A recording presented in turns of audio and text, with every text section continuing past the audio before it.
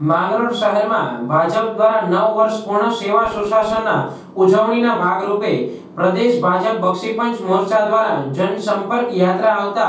આ રથયાત્રાને માંગરોળ ધારાસભ્ય ભગવાનજીભાઈ ગરગટિયા બક્ષીપંચ મોરચા રાષ્ટ્રીય ઉપાધ્યક્ષ વેલજીભાઈ, માંગરોળ શહેર પ્રમુખ લીનેશભાઈ સોમૈયા દ્વારા રથના વધામણા કરવામાં આવ્યા હતા. સાથે જિલ્લા બક્ષીપંચ તાલુકાના ભાવેશભાઈ, જિલ્લા પ્રભારી માલદીભાઈ જિલ્લા બક્ષીપંચ મોરચા ઉપપ્રમુખ રણછોડભાઈ ગોશિયા માંગરોળ શહેર પ્રમુખ નીતિનભાઈ પરમાર, નગરપાલિકા વોર્ડ નંબર 2 ના સદસ્ય મયુરીબેન પરમાર, રંજનબેન ખાકરિયા મહામંત્રી ધનસુખભાઈ, કિશનભાઈ પરમાર સહિત સંગઠન તેમજ મોરચાના હોદ્દેદારો હાજર રહ્યા હતા.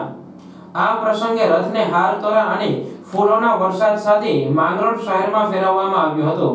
માંગરોળ તાલુકા મંડળમાં આવતા તમામ બૂથ સુધીના બધા પ્રતિનિધિઓ તેમજ સિનિયર કાર્યકર્તાઓ હાજર રહ્યા હતા. તાલુકા ભાજપ સહિત માંગરોળ શહેરના સંગઠન કાર્યકરો તેમજ બહેનો દ્વારા માંગરોળ શહેર ભાજપ કાર્યાલયથી રથને વધામણા કરવામાં આવ્યા હતા.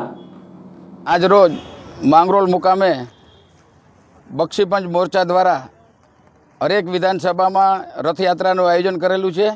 જેમાં આદરણીય શ્રી નરેન્દ્ર મોદીના કેન્દ્રમાં નવ વર્ષના શાસન દરમિયાન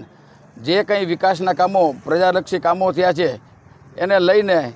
બક્ષીપંચ મોરચા દ્વારા આખા ગુજરાતમાં આ યાત્રા નીકળી છે અને આ યાત્રા માંગરોળ આવી છે અને સંપર્કથી સમર્થન સુધીનો કાર્યક્રમ આખા દેશની અંદર ચાલી રહ્યો છે, જેને અનુસંધાને આજરોજ માંગરોળમાં પણ બક્ષીપંચ મોરચાની આ યાત્રા આવી છે અને લોકોનો સંપર્ક કરી અને સમર્થન મેળવવા માટે બક્ષીપંચ મોરચા દ્વારા પ્રયાસો થઈ રહ્યા છે.